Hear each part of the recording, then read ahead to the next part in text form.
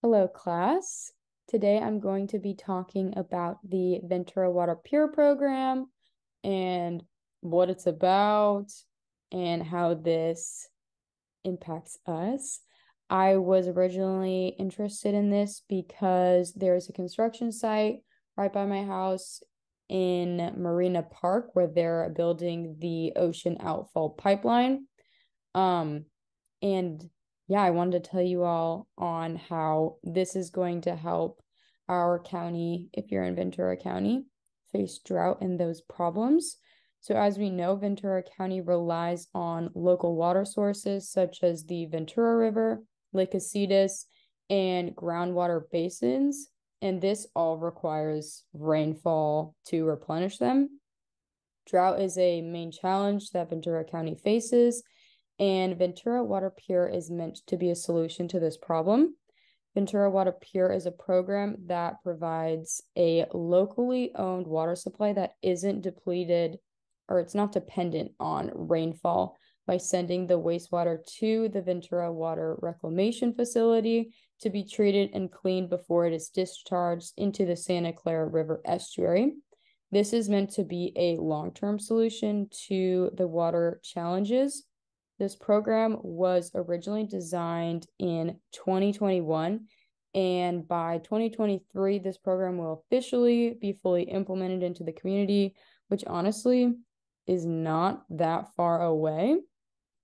Right now, the wastewater from Ventura is being sent to the Ventura Water Reclamation Facility, where it is treated. But now there's going to be an upgrade with a facility called the Advanced Water Purification Facility that will further treat the water so that the water can be of higher quality and we can reuse it and drink it and all that good stuff.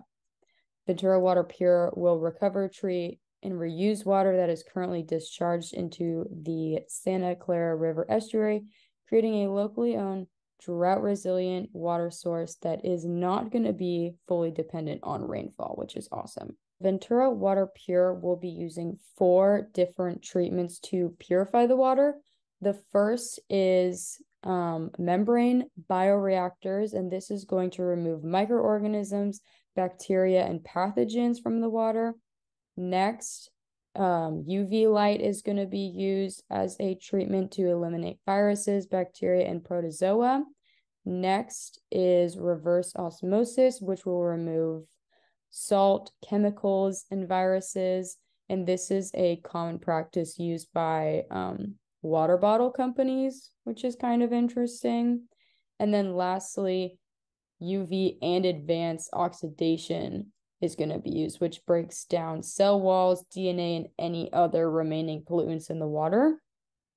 So those first two treatments are going to be done at what the water Ventura Water Reclamation Facility, and the other two are going to be at the Advanced Water Purification Facility, and that's the new one. So currently, there's an ocean outfall pipeline that is being constructed at Marina Park, as I mentioned, and this is a very critical part of the program. This pipeline will act as a disposal of all the concentrate that is generated by the Advanced Water Purification Facility. Also, this pipeline is important because it will also like divert water that exceeds the advanced water purification facilities in emergencies. Say if we get like a lot of rainfall.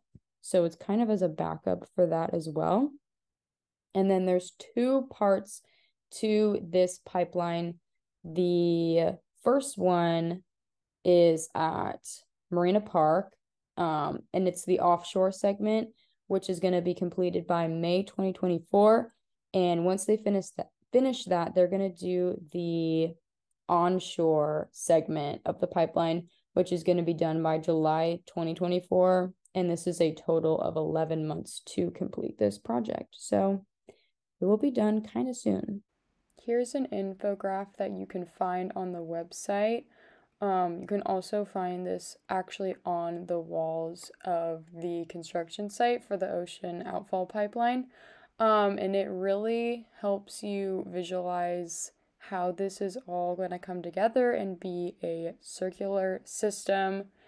um, and how the water is going to be reused. Of course, we still have that pipeline going out to the ocean, so it's not completely um, circular, but um, it kind of gives that illusion to it with this infographic here.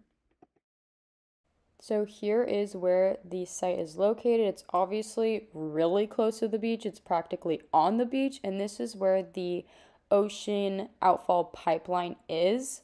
Um, the walls are 24 feet tall. It's supposed to be soundproof, which is pretty cool.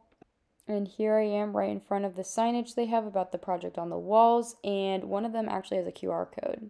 After scanning that QR code, I'm brought to this website here where I can get an insight on what Ventura Water Pure is, um, what it's meant to do. There's also a video summary of all this information, and it's like less than two minutes. Um, so that was super beneficial to watch. Um, I also really appreciate how it's really easy to contact them.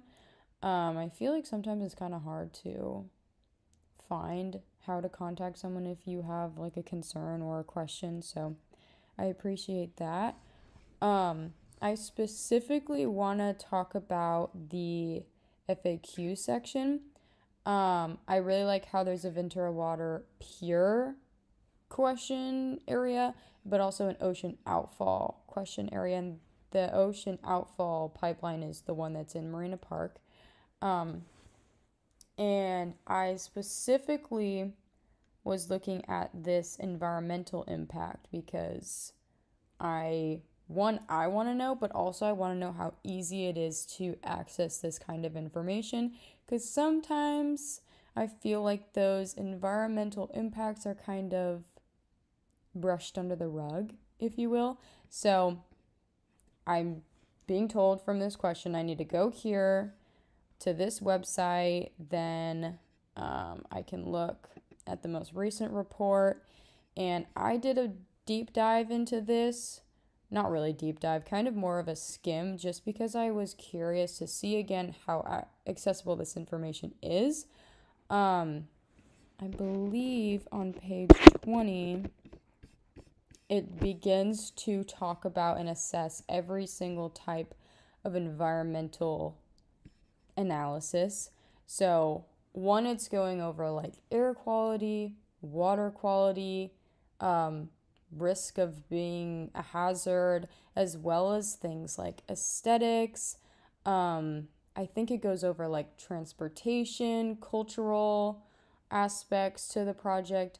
And I looked through basically every single one, and it was a no. And in this case, no is good. You want it to be a no.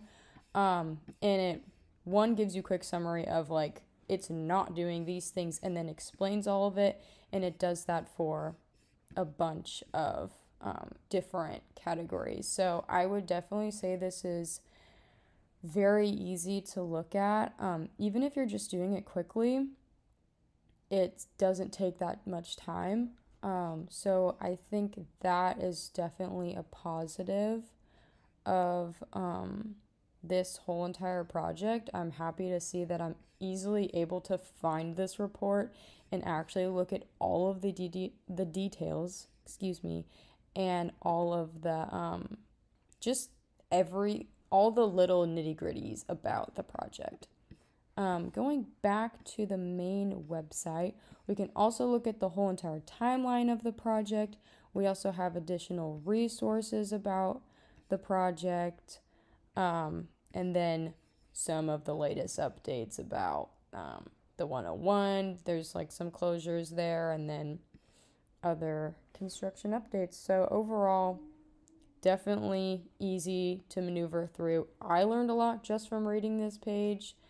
Um, so, I think the average person would definitely benefit from scanning that QR code and just reading a little bit about it.